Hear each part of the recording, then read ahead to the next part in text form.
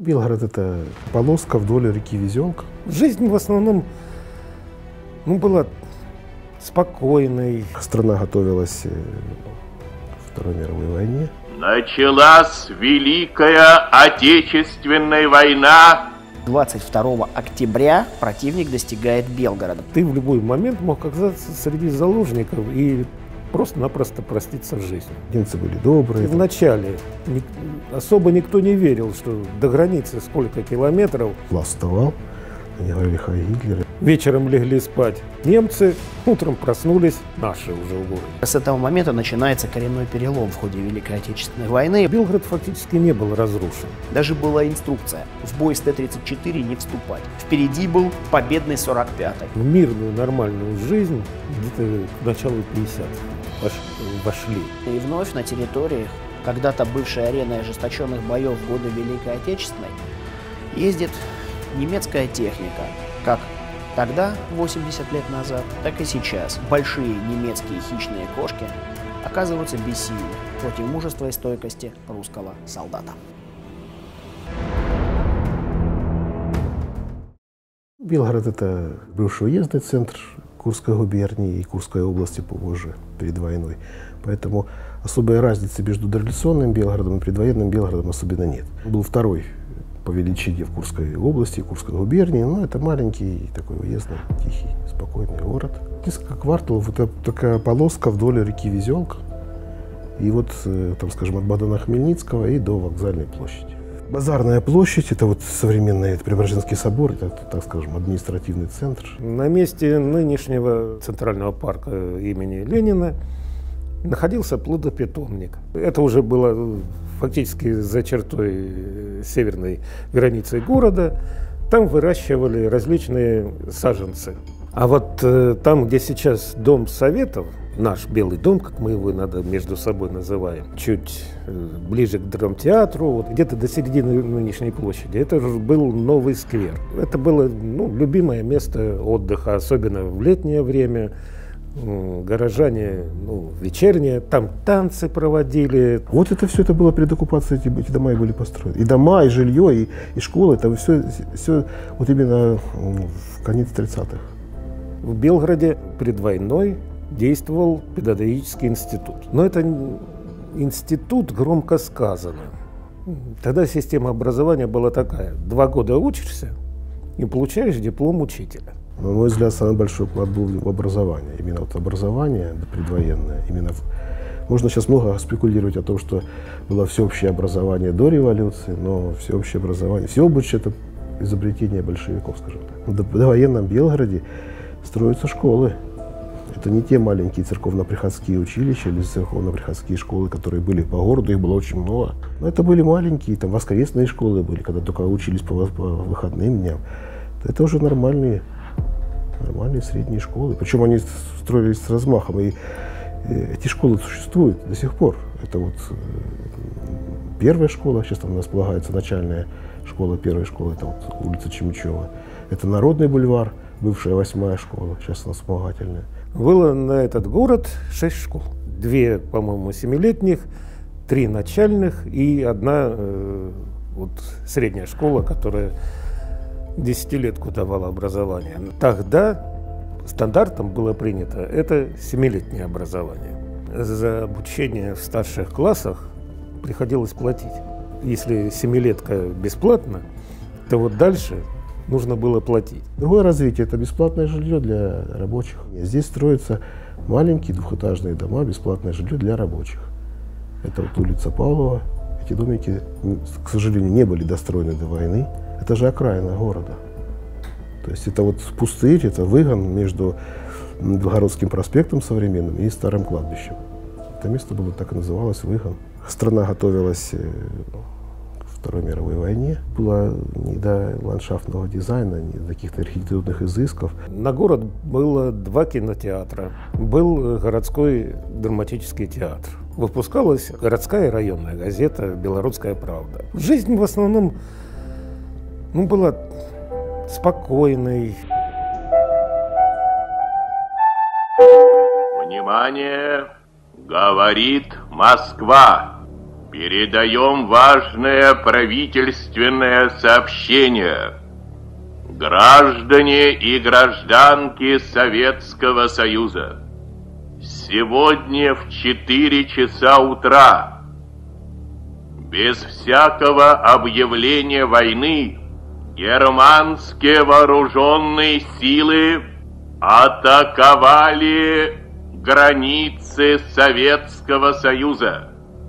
Началась Великая Отечественная война советского народа против немецко-фашистских захватчиков. 22 июня 1941 года в 4 часа утра войска гитлеровской Германии и ее сателлитов атаковали государственную границу Советского Союза на всем протяжении от Баренцева до Черного моря. Уже в первые дни войны наш город оказался на военном положении. Уже 23 июня 1941 года в соответствии с указом Президиума Верховного Совета СССР в городе в том числе начинается мобилизация в действующую армию, начинается подготовка города к ведению боевых действий, если вдруг противник его достигнет. То, что на 22 июня 1941 года в Белгороде находился штаб и управление 145-й стрелковой дивизии, об этом как-то ну, почти нигде не проходит информации. Эта дивизия находилась с лета 40 -го года в Белгороде, когда 22 июня началась война, около 6 тысяч и белгородцев, и шебекинцев, и карачанцев, ну то есть близ ближайшие районы, были мобилизованы и призваны в армию и попали в эту дивизию. 19 октября немцы вошли на территорию Курской области. Ну, первыми захватили вот Грайворон, ракитная, ну и постепенно двигались, двигались. Боевых действий за сам Белгород не было в этот период. 21-22 октября еще задерживали немцев, но все равно они прорвали оборону. Уже 22 октября противник достигает Белгорода. То есть представляете себе, как быстро развивалось э, немецкое наступление. Несмотря на упорное сопротивление частей соединений Красной Армии, 24 октября 1941 года немецко-фашистские войска занимают Белгород, и на 20 месяцев город оказывается в оккупации. не было того, чтобы сразу какие-то репрессии начались. Немцы ж ведь пришли завоевывать территорию.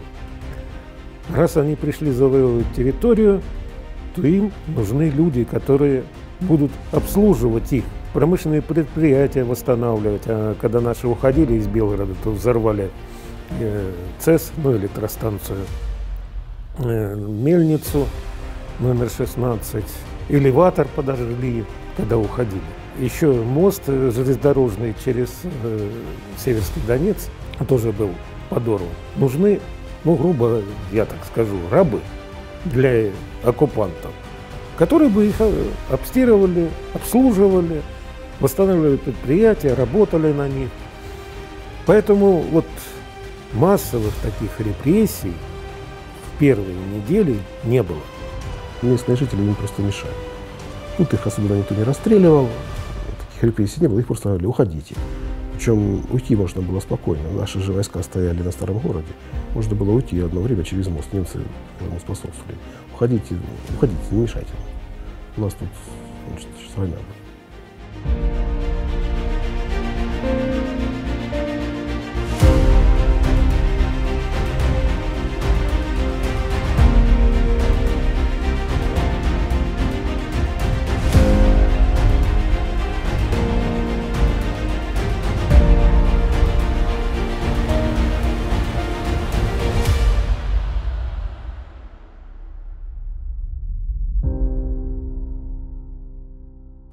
25, по-моему, октября, ну то есть на следующий день после оккупации, всем э, медицинским работникам было приказано выйти на работу, кто остался в городе. Немцы боялись всяких эпидемий, э, ну, чтобы, не дай бог, на немецкую армию не перекинулась. И поэтому медицине они уделяли внимание, чтобы гражданское население имело медицинскую помощь, медицинское обслуживание. Коммунисты, не все же ушли, оставались в городе. И они обязаны были зарегистрироваться и еженедельно отмечаться, что он никуда не уехал, что он здесь же живет по этому адресу, что там не принимает участие ни в какой подпольной деятельности. Если коммунист не зарегистрировался, а все-таки узнали, что он коммунист, тогда расстрел. В документах много приводится случаев, что коммунисты, оставшиеся на оккупированной территории, в том числе и в Белгороде, при регистрации даже сдавали комендатуру свои ордена и медали, которые получали вот в 30-е годы. Оккупация нашего города, она ничем не отличалась от оккупации других городов европейской части СССР, занятой немецко, занятых немецко-фашистскими войсками. Это террор, это насаждение так называемого нового порядка террористическими методами. Жестокость оккупации проявлялась в первую очередь не в не в том, что постоянные расстрелы, постоянные там какие-то карательные акции. Нет, просто над тобой постоянно висел домоклов меч и всяких этих запретов о том, что ты в любой момент мог оказаться среди заложников и просто-напросто проститься с жизнью. Вы приходите на рынок, что-то поменять. Ну, молоко, например, хотите. Принесли какую-то ну, пиджак или костюм. Ну, договорились по цене. Вы ну, получили свое молоко, крестьянин получил костюм, который хотел. Ну, тут облава. Потому что где-то на какой-то из улиц города нашли или убитого немецкого солдата, или раненого. Облава. Хватает на рынке человек 20-30. И туда, в подвал аптеки номер 8. А рядом с базарной площадью, с рыночной, вот, возле Преображенского собора виселица стоит. Через день-два какая-то часть на виселице из этих заложников висит. Кто-то в дальнем парке расстрелян. Многие говорят, что там немцы были добрые. Мой папа тоже был в оккупации, и он тоже он говорил, что он ничего вкуснее жизни не ел, то ему дали кубик гематогена, немец дал. Это было такое, понимаете, вот ну, как вот собачка бежит, и мы там ей косточку дали. А вот те люди, которые, их, их, которые дожили до 90-х, я допустим, застал, они очень отрицательно относились к немцам. Эта волна была такая, знаете, ну, у нас немцы стояли, бабушка рассказывала, они добрые, подарили одеяло, да, ну, и моя бабушка тоже сказала, что подарили одеяло, там, моя мама была маленькая, там, родная, подарница подарили одеяло какое-то. Первые неделю, вторую запугивание, стращали, Везде были расклеены объявления, что смертная казнь, расстрел, повешение. Там. Недели через три они начали постепенно отпускать. То есть разрешили работу рынка. Но не целый день, там, по-моему, три или четыре часа в день. И то не всеми продуктами можно было торговать. Затем разрешили работу некоторых магазинов. Затем даже универмаг открыли. Ну, по большей части он был э, рассчитан на немецких солдат. Была запрещена работа всех торговых предприятий, рынка. Был введен комендантский час с 18 часов до 7 часов утра. За нарушение комендантского часа расстрел. Незаконно продаешь что-то, ну, пытаешься рыночную деятельность вести, расстрел. Одной из форм этого террора был угон населения на работы в Германию. Таких людей называли остарбайтерами, от немецких слов «Ост-Восток», «Арбайтер», соответственно, рабочий. Многие ведь очень не, вер... не вернулись оттуда после того, как закончилась война. Там и остались, погибли, умерли от непосильных этих работ, э, условий, когда недоедание, ну, полуголодное существование.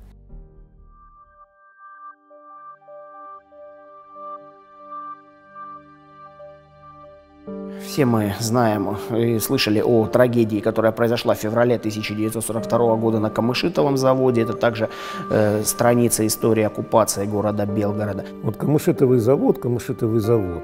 Ну, во-первых, мне не нравится, когда начинают говорить о том, что это белгородская хатынь. Их расстреляли, потом облили бензином, и уже трупы. Ну, кто-то, может быть, и э, был тяжело ранен, потерял сознание. Но по большей части это были уже убитые наши граждане. Потом только подожгли. То есть э, это не хатынь в прямом смысле, что вот загнали в сарай, подожгли, и люди живьем сгорели. Нет, их расстреливали. Цифры, опять же, разные. Работая в архиве, изучая документы, я все-таки прихожу к мысли, что в этом камышитовом сарае не 2000 человек было, не, даже не 1700, около 700 человек. Но все равно, это трагедия, конечно. Просто в этот сарай 2000 не запихнешь. Его объем 4 метра высота, 7 метров ширина и 14 метров длина.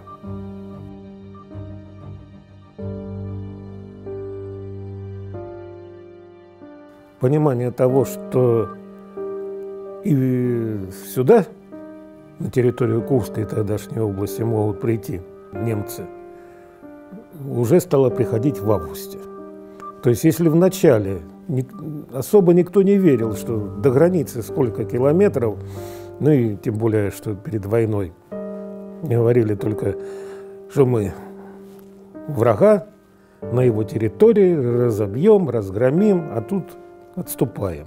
Полностью вся территория современной Белгородчины была занята немцами и союзниками Германии летом 1942 года в ходе наступательной операции Блау, той самой операции, которая в итоге закончилась э, Сталинградской битвой.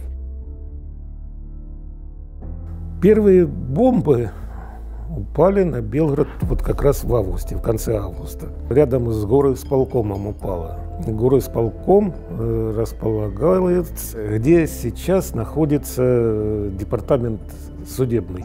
Вот это уже были первые звоночки того, что враг уже близко. И вот август, сентябрь, формирование партизанских отрядов ну, по всей территории Курской области – там больше 80 человек сформировали партизанский отряд. Оккупанты пришли, и партизанский отряд собрался. Почти пол, половины отряда не пришло. По одной простой причине, что очень много железнодорожников включили в состав партизанского отряда.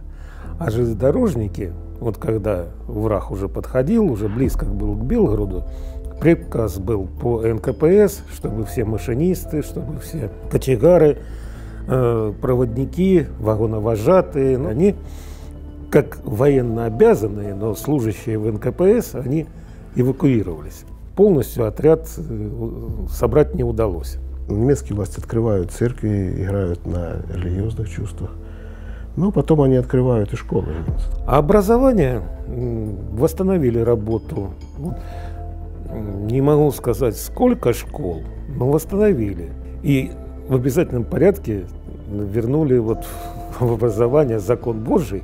И еще уроки проводили о ну, восхвалении Гитлера, национал, национал-социализма, ну, то есть с подтекстом на то, что воспитывать в детях уважение к оккупантам. Есть воспоминания белгородцев, вот мой учитель там ходил в эту школу, вот, у них там были приветствия немецкие, они там говорили «Хай Гитлер», вот, начале класс вставал, они говорили «Хай Гитлер», они там что-то импровизировали это слово «Хай» по-русски, вот, в общем, там дразнили немцев.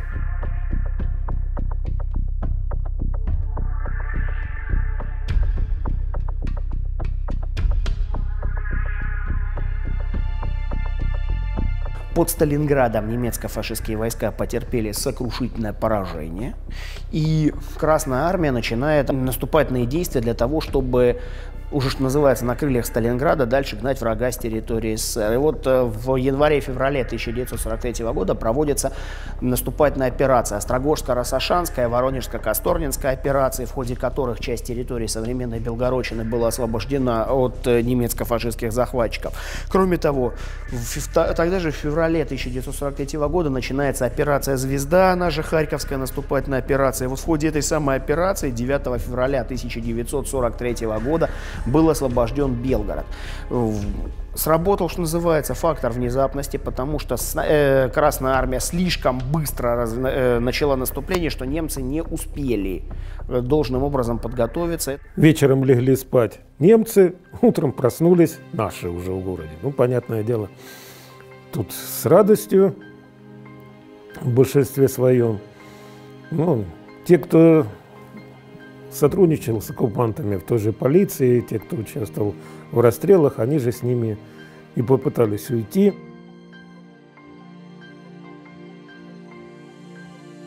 Мы с вами находимся на улице, которая носит имя танкиста Андрея Попова, погибшего в боях во время первого освобождения Белгорода 9 февраля 1943 года. За моей спиной памятник танкисту Андрею Попову. Андрей Иванович Попов, командир взвода управления одного из танковых батальонов 192-й танковой бригады, в числе первых ворвался в город 9 февраля 1943 года. Чуть ниже, на пересечении улиц, тогда еще Пионерской и Ленина, ныне Попова и Гражданского проспекта, танк Андрея Ивановича Попова был подбит. Сам он погиб э, в бою. Уже тогда, в 1943 году, улица Пионерская была переименована и стала стала называться улицей танкиста Андрея Попова. Есть устойчивый стереотип, что Андрей Попов ворвался в Белгород на танке Т-34. На самом деле нет. Если мы посмотрим список членов экипажа Андрея Попова, мы увидим там 7 человек. Танк, на котором Андрей Попов ворвался в Белгород, это средний танк М3С. Генерал Ли, он же генерал Грант. Это танк производства США. Такие танки поставлялись в СССР по программе Ленд-Лиза. Его экипаж как раз и насчитывал 7 человек. Именно на танке такой модели Андрей Попов ворвался в Белгород 9 февраля 1943 года.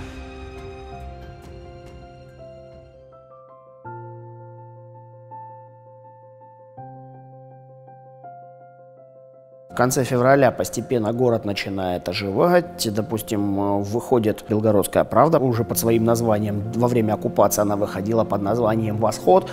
И в ней содержались соответствующие материалы, прославляющие гитлеровскую Германию, союзников и, естественно, гневно клеймящие позором и нехорошими словами Советский Союз со стороны антигитлеровской коалиции. 12 февраля постепенно восстанавливалась работа всех тех учреждений советских. По большей части вернулись э, почти все руководители, которые вот э, ушли тогда с Красной Армии. Где-то к концу февраля, в общем-то, жизнь ну, вошла в такое русло. Кстати, немцы тоже ЦЕС взорвали, тоже мельницу номер 16 и ряд других, тоже железнодорожный мост. Вот. Мы уходили, взрывали, немцы восстанавливали. Мы наступали, входили в город, немцы тоже все взрывали, мы восстанавливали. Битва, в которой были перемолоты лучшие кадры вооруженных сил Третьего Рейха, все-таки она не могла не оказать влияния на стратегический ход войны. И как раз с этого момента начинается коренной перелом в ходе Великой Отечественной войны. Уверенность была, что обратно ничего не вернется. Но, к сожалению, потом немцам удалось все-таки нанести ответный удар. 4 марта 1943 года немецко-фашистские войска начинают вновь бомбить Белгород, затем переходят наступление. И 18 марта 1943 года немцы вновь занимают Белгород. В воспоминаниях вот, э, заместителя начальника городского отдела НКВД по милиции Попов Владимир Никитович, он один из последних уходил из города. И говорит, мы поднялись на Белую гору. Это территория, где авторынок сейчас по студенческой находится. Говорит, поднялись на Белую гору, город весь пылал. Это вот в ночь на 18 марта. И город методично Э, вот, добивали, добивали, особенно когда линия фронта стабилизировалась. Вот, немцы в центральной части города, наши за рекой. Северский Донецк – это как бы естественная граница между нашими и немецкими частями. Вот мы смотрим, та же Богдана Хмельницкого улица, тот же проспект Ленина бывший, а, ныне там Свято-Троицкий бульвар, другие, ну, все разрушено, все разбито. Одна, одни кирпичи и пыль. Э, затем наступает весенняя распутица, которую, которую обе стороны начинают использовать для подготовки к летней кампании 1943 года. И уже там и окончательно будет понятно, как дальше пойдет Великая Отечественная война. Летом 1943 года на летнюю кампанию возлагалась очень большая надежда. И в Красной армии, и в вермахте. Наши отселяли, немцы отселяли. Ну, наши хотя бы ну, более-менее условия отселяли. 25-километровая зона была. И вот э, в селах, которые находились за 20-километровой зоной, этих э, гражданское население расселяли. А немцы сделали просто. Они в апреле месяце ну вот, собрали всех, обязали явиться, на железнодорожную станцию погрузили в вагоны, вывезли в сторону Полтавской области, и там прямо в поле всех выгрузили. И живите, и питайтесь, и, в общем, как хотите. Не особо беря на себя заботы. 5 июля 1943 года это би- началась Курская битва. Она в общей сложности длилась 50 дней и ночей.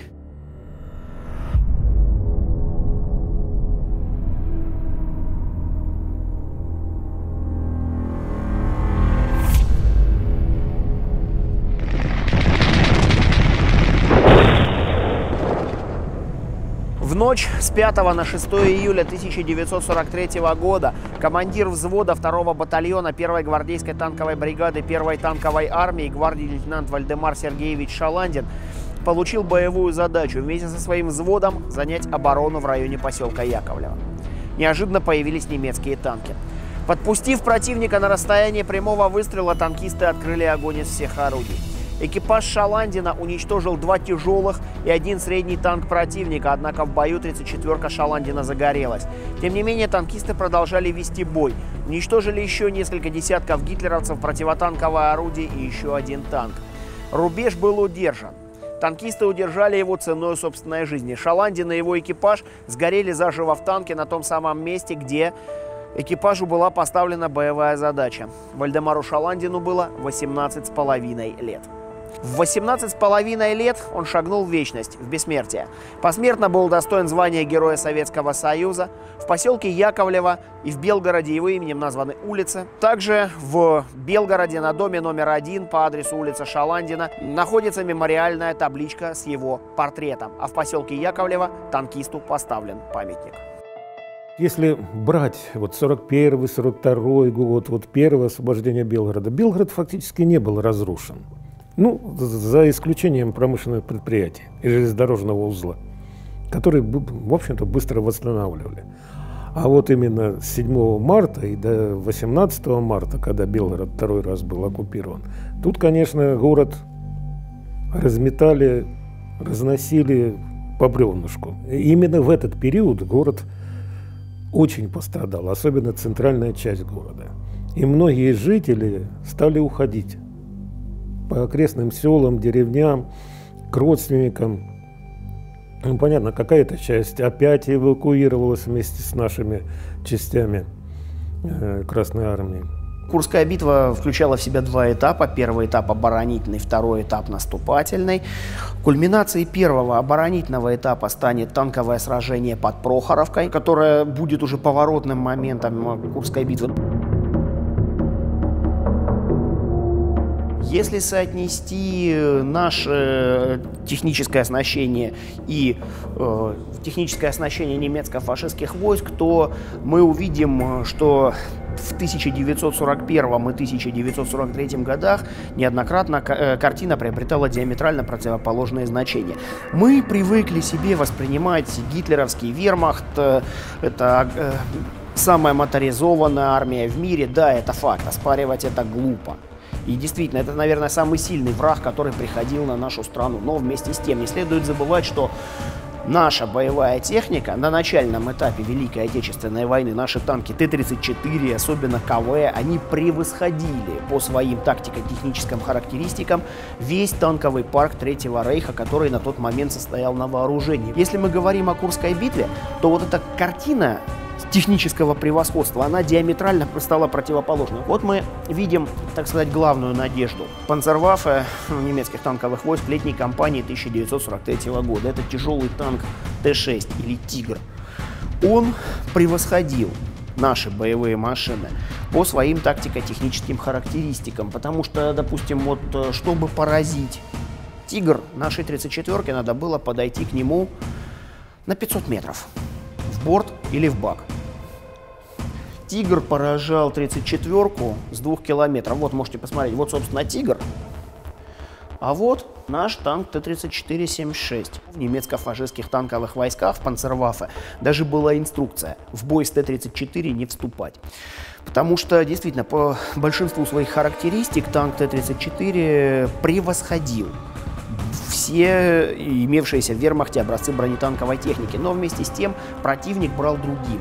Противник брал тем, что он имел гораздо больше, нежели Красная Армия, опыт оперирования вот этими самыми танковыми соединениями. Наши танкисты противопоставили свои, достоинства своей боевой техники достоинствам техники немецкой. Да, пушка длинная, да, бьет с двух километров, поражает нашу технику. Но вместе с тем наши танкисты неоднократно шли на таран, шли в ближний бой, потому что пушка длинная, очень долго вращается башня. И 34-ки могли подходить на 500 метров и расстреливать борта «Тигров» в упор. Свыше 20 танковых таранов было совершено летом 1943 года, 12 июля 1943 года на Прохоровском поле.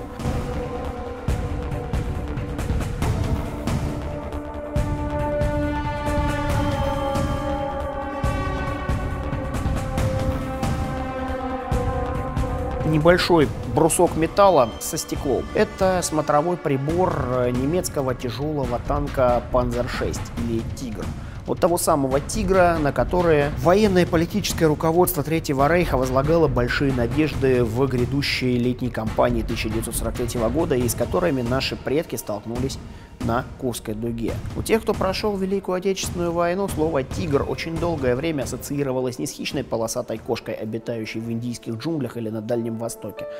Слово «тигр» ассоциировалось с тяжелым немецким танком. Не умаляя подвига 5-й гвардейской танковой армии, сражавшейся на Прохоровском поле, мы не имеем права забывать и обязаны говорить о подвигах тех э, героев, которые сражались на направлении главного удара, на Баянском, на Карачанском направлениях, о танкистах 1-й танковой армии, стрелковых соединениях 6-й и 7-й гвардейских армий, которые дрались на направлении главного удара на Белгородско-Баянском и на вспомогательном Белгородско-Карачанском направлении. Те, кто выдержали в первые дни Курской Курская битва, удары танковых кулаков вермахта и дали возможность затем для вот этого самого контрудара на Прохоровском поле, затем дали возможность для перехода в контрнаступление.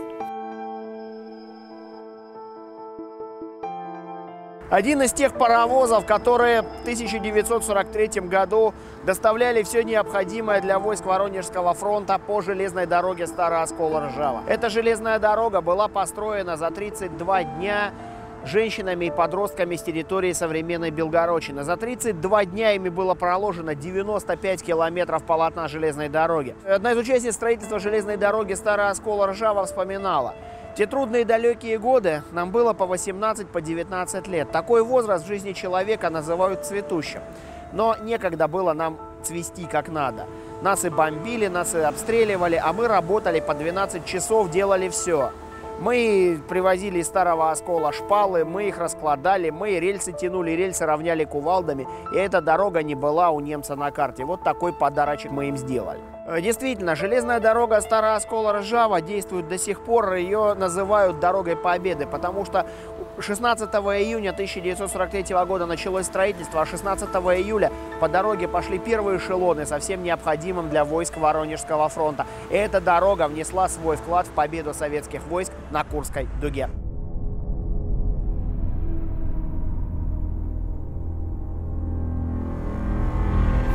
3 августа 1943 года Красная Армия начинает Белгородско-Харьковскую наступательную операцию, получившую название «Полководец Румянцев». Название было выбрано специально, потому что Петр Александрович Румянцев-Задунайский – это один из выдающихся русских полководцев 18 века, который одержал ряд громких побед. Э, учитывая, что в гитлеровской Германии был настоящий культ э, Фридриха, Фридриха II Великого, одного из лучших королей-полководцев своего времени, выглядит очень символичным то, что операцию по освобождению Белгорода назвали в честь э, полководца, который неоднократно наносил э, армии Фридриха Великого болезненные поражения. 5 августа 1943 года Красная Армия занимает Белгород. Первыми в Белгород ворвались воины 89-й гвардейской стрелковой дивизии, 305-й стрелковой дивизии, 23-го гвардейского авиационного бомбардировочного полка дальнего действия. Всем этим соединениям было присвоено почетное наименование «Белгородские» за то, что они первыми ворвались в Белгород. Расплавленный двигатель танка Т-34, вот, что довелось испытать нашим предкам в сражениях Великой Отечественной войны, но наши предки выстояли, сумели победить, сумели сломать хребет самой моторизованной армии в мире. Вы видите фотографии первого победного салюта, который был дан 5 августа 1943 года в честь освобождения городов Орла и Белгорода. 12 артиллерийских залпов из 124 орудий ознаменовали победу и освобождение старинных русских городов Орел и Белгород. Там же за моей спиной вы видите список героев Советского Союза. 181 человек был удостоен звания Героя Советского Союза за отличие на белгородско-харьковском направлении Курского выступа. За каждой фамилией в этом списке человеческая судьба. Многие из тех, кто здесь представлен, отдали свою жизнь э, за то, чтобы сегодня мы могли жить и наслаждаться жизнью.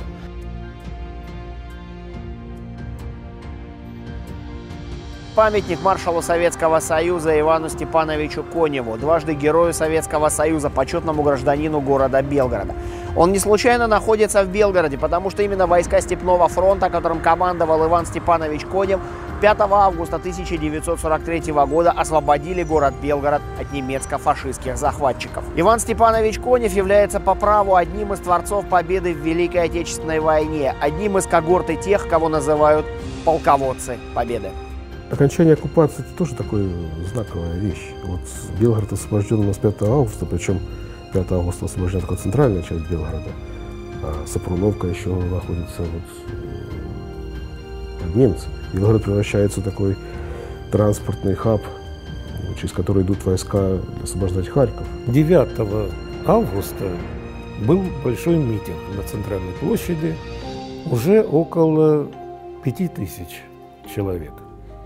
То есть люди начали возвращаться, постепенно начали возвращаться.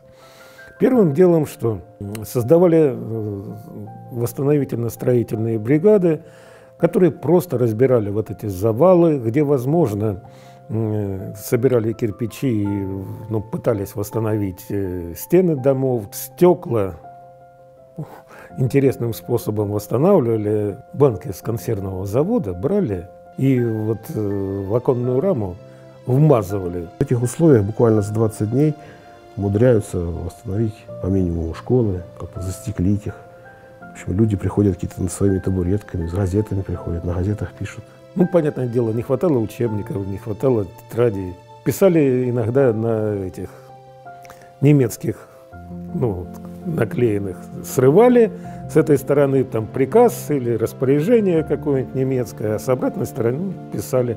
Ну, а что оставалось делать? Бумаги нет, централизовано это не поставлялось. Знаете, существует такое мнение, что Белгород был разрушен в щебень. Есть немецкие аэрофотосъемки развед, разведчиков, которые летали над Белгородом осенью 43 года, уже после освобождения Белгорода.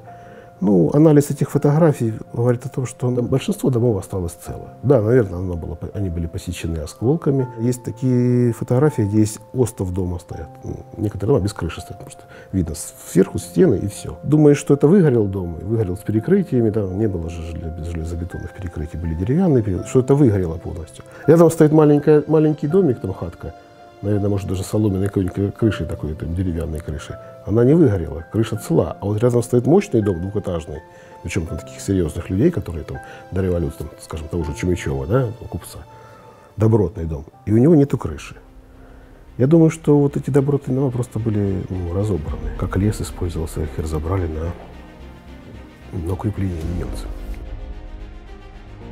Освобождением города Белгорода, освобождением Орла, который был освобожден в тот же день, что и Белгород, 5 августа 1943 года, Курская битва не закончилась. Она закончилась 23 августа 1943 года освобождением Харькова. В общей сложности сражение длилось 50 дней и ночей. Просто вдумайтесь, 50 дней и ночей потребовалось Красной Армии, чтобы пройти расстояние 83 километра, расстояние между Белгородом и Харьковом по прямой. Когда освободили Харьков, первой задачей было восстановить движение железнодорожное между Харьковом и Белгородом. Если же говорить о потерях э, в Курской битве, то 900 тысяч потеряла Красная Армия, 500 тысяч потерял вермахт. Связано это с тем, что первый удар, который нанесли немцы 5 июля 1943 года, он пришелся в основном на части 6-7 гвардейских армий. Это армии были укомплектованы преимущественно стрелковыми дивизиями, а против них были брошены отборные танковые соединения. Но тем не менее наши воины выстояли, сумели сдержать натиск танковых кулаков немцев. Когда Новый год 45-й подходил, то во многих ну, дворах домов, особенно частных, и вот, которые больше на окраинах, где росли ели, там их украшали различными самодельными игрушками, гирляндами. То есть пытались создать настроение. Тем более уже э, шло к победе. Но бои продолжались, и Красная армия шла дальше на запад. После Курской битвы Красная армия больше не отступала. Она неудержимо шла вперед до самого Берлина. Впереди было форсирование Днепра и завершение коренного перелома в ходе всей Великой Отечественной войны. Впереди был год решающих побед, 1944. 2 мая информация прошла, сводки Совинформбюро, что Рейстаг пал, что красное знамя над Рейстагом, что берлинский гарнизон капитулирует. Но окончательной победы не было, но ждали вот со дня на день. Впереди был победный 45-й. Долгожданная победа, которой наш народ шел долгих 1418 дней, за которую заплатил 27 миллионами человеческих жизней.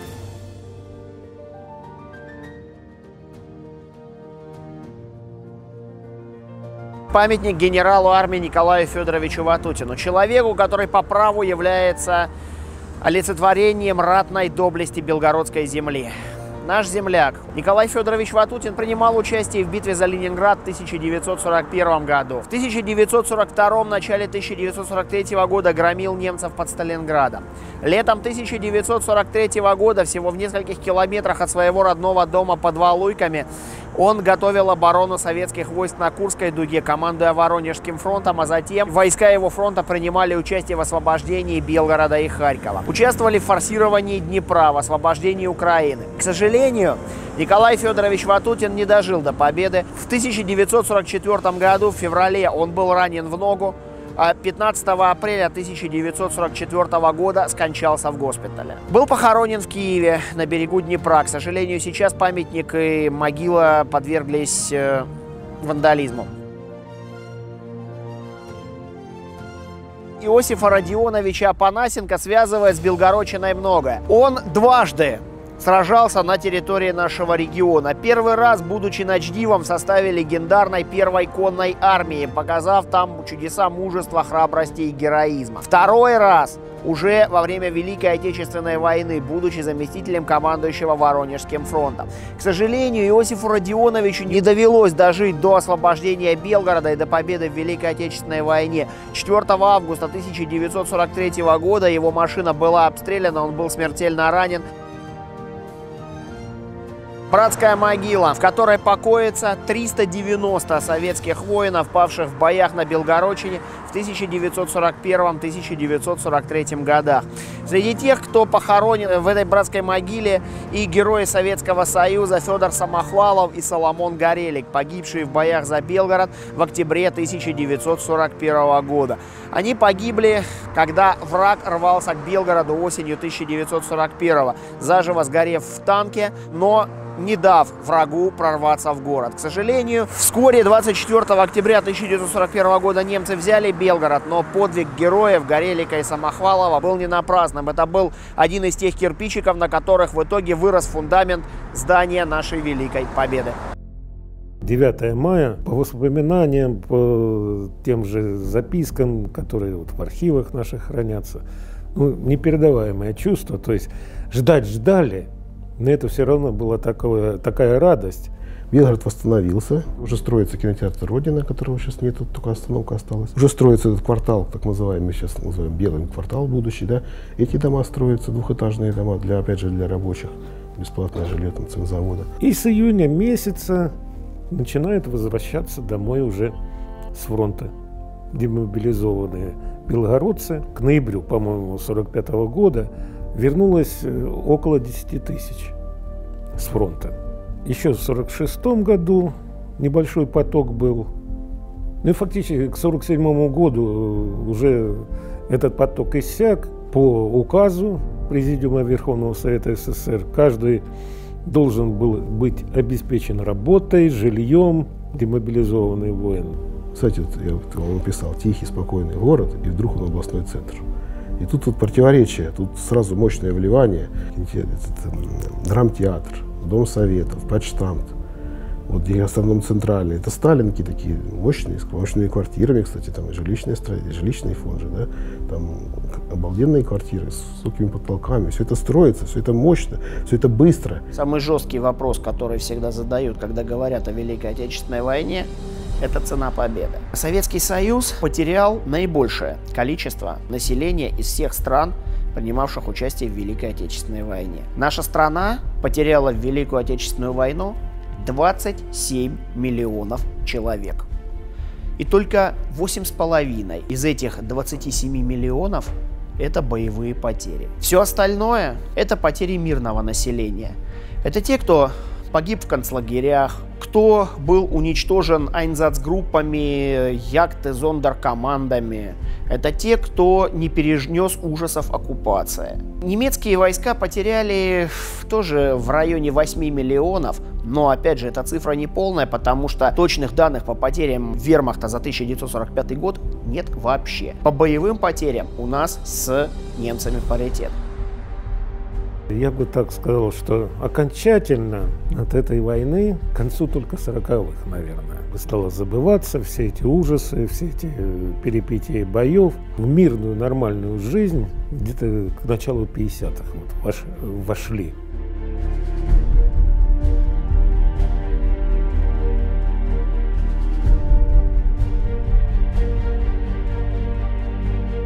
Было понимание того, что одержана действительно, одержана победа. Самой страшной из войн, которые когда-либо вела наша страна. Победа, за которую было заплачено дорогой ценой. И мы должны помнить об этом, потому что ну, это наша история. Победа в Великой Отечественной войне – это вот та самая духовная скрепа, которая объединяет самые разные категории нашего населения.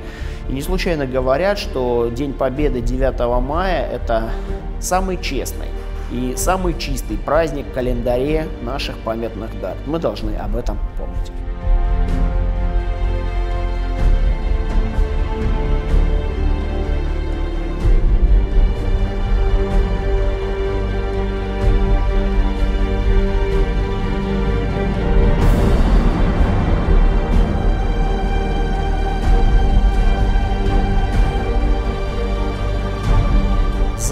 Моей спиной вы видите барельефную композицию в виде Ордена Отечественной войны первой степени и указа Президиума Верховного Совета СССР от 9 апреля 1980 года.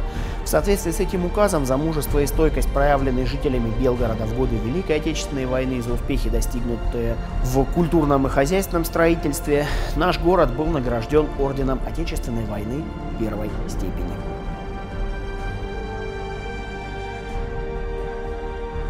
Проходит 80 лет с момента окончания Великой Отечественной войны, и вновь на территории, когда-то бывшей ареной ожесточенных боев в годы Великой Отечественной, ездит немецкая техника с крестами на броне, носящая имя большой хищной кошки. Тогда тигр, пантера, сейчас леопард. Но как тогда, 80 лет назад, так и сейчас, большие немецкие хищные кошки оказываются бессильны против мужества и стойкости русского солдата.